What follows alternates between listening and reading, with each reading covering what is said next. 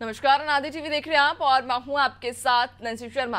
आइए बुलेटिन की शुरुआत करेंगे बड़ी खबर के साथ में, जहाँ आपको बताते चले कि बड़ी खबर जो कि भोपाल से सामने आ रही है, यहाँ डॉक्टर मोहन यादव का। आज इंदौर और रतलाम दौरा है। इंदौर में पार्टी प्रत्याशी का नामांकन वे दाखिल कराएँगे, जहाँ रतलाम में सीएम यादव जनसभा भी करते दिखाई देंगे। तो आज सीएम डॉक्टर मोहन यादव इंदौर और रतलाम के दौरे पर रहेंगे, जहाँ आपको बता दें कि इंदौर में पार्टी प्रत्याशी के लिए वोटों की अपील, यानी कि वोटों की मांग करेंगे तो इधर रतलाम में सीएम यादव जनसभा भी करते हुए नज़र आएँगे। यानी कि आज मालवा पर सीएम मोहन यादव का दौरा रहेगा। और मालवा पर इस बार बीजेपी की नज़र, चूँकि इंदौर में जब सीएम पहुँचेंगे तो अपने पार्टी प्रत्याशी के नामांकन में सबसे पहले भी शामिल होंगे। उसके बाद अपने पार्टी प्रत्याशी के लिए वोटों की अपील करते नज़र आएँगे। यानी कि मालवा एक वो इलाका, जो कभी बीजेपी तो कभी कांग्रेस का रहा है। और ऐसे में आज बीजेपी मालवा पर फोकस करती हुई यहाँ पर चुनावी सभा करेगी। रतलाम में दरअसल उनकी चुनावी सभा होगी।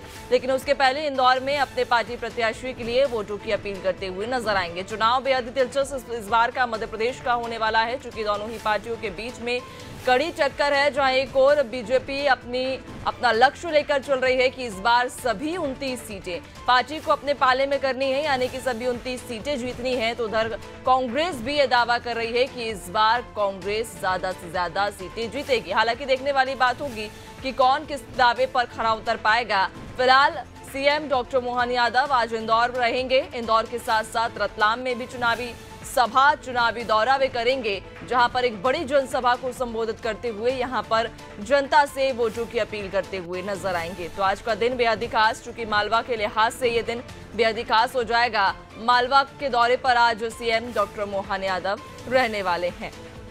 मालवा के ही वे निवासी और आज एक बार फिर मालवा में चुनावी सभा को संबोधित करेंगे। ज़्यादा जानकारी लेंगे सहयोगी दुर्गेश हमारे साथ में जुड़ चुके हैं। दुर्गेश आज सीएम डॉक्टर मोहन यादव इंदौर के दौरे पर यानी कि मालवा पर एक बार फिर बीजेपी की नज़र।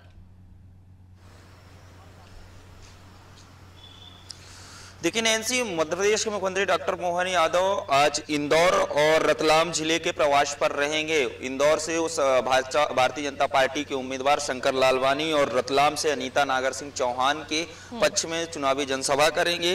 और जो साढ़े दस बजे शेड्यूल आया है मुख्यमंत्री डॉक्टर मोहन यादव को, वो साढ़े दस बजे इंदौर पहुँचेंगे और इंदौर में पार्टी प्रत्याशी जो है उनका नामांकन दाखिल कराएँगे, उसके साथ ही जनसभा को संबोधित करेंगे। वहीं दोपहर एक बजे रतलाम लोकसभा क्षेत्र में पहुँच करके झाबुआ में एक बड़ी चुनावी जनसभा करेंगे। अनीता नागर सिंह चौहान के पक्ष में वोट मांगेंगे जनता से और अपनी सरकार की कामकाज का रिपोर्ट पेश करेंगे जनता के सामने। और जिस प्रकार से दूसरे चरण के चुनाव के लिए अब तक भारतीय जनता पार्टी ने अपनी पूरी ताकत झोंकी थी, उसी क्रम में भारतीय जनता पार्टी लगातार मिशन उनतीस में कामयाबी पाने के लिए लगातार उनके दिग्गजों के दौरे हो रहे हैं। उसी क्रम में मुख्यमंत्री डॉक्टर मोहन यादव लगातार एक दिन में दो से तीन जनसभाओं को संबोधित कर रहे हैं और जनसभा के माध्यम से लोगों को भारतीय जनता पार्टी की जो काज काम काज हैं और जो विकास की नीतियाँ हैं, विकास के कार्य हैं, उन विकास के कार्यों की उपलब्धि को बताते हुए,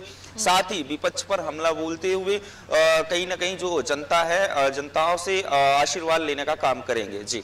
बिल्कुल दुर्गेश, चूँकि मालवा पर देख पा रहे हैं कि अक्सर ही दोनों ही पार्टियों की नज़र होती है, चाहे फिर वो बीजेपी हो या कांग्रेस हो और अन्य दल भी यहाँ पर कहीं ना कहीं अपना दमकम भरते हुए नज़र आते हैं। वैसे में अगर एक प्रमुख पार्टी बीजेपी की हम बात कर रहे हैं तो सीएम चूँकि लगातार मालवा के दौरे पर हैं, वे खुद मालवा से आते हैं और एक बार फिर मालवा के दौरे पर वे जा रहे हैं। क्या रणनीति इस बार रहेगी पार्टी की? चूँकि लक्ष्य बड़ा है, पार्टी कह रही है कि सभी उनतीस की उनतीस सीटें इस बार बीजेपी जीत रही है।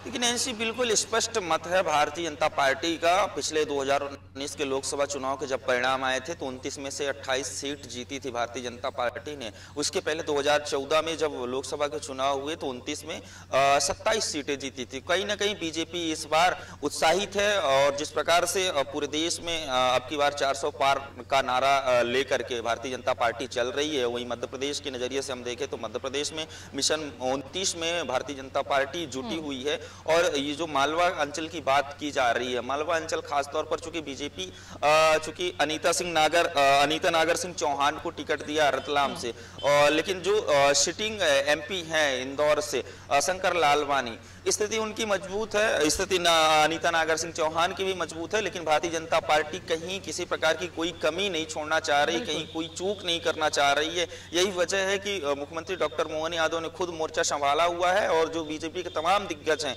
वो लगातार ताबड़तोड़ दौरे कर रहे हैं। हम्म। बिल्कुल, यानी कि ताबड़तोड़ चुनावी दौरे सभी के हर सीट पर बने हुए हैं। देखने वाली बात रहेगी कि जिस तरह से जनता का मन टटोला जा रहा है और जनता अब किसके पक्ष में निर्णय देगी, ये खैर समय बताएगा, नतीजे आने के बाद स्पष्ट हो पाएगा। बहुत शुक्रिया आपका। बने रहिएगा और भी अपडेट्स लेंगे।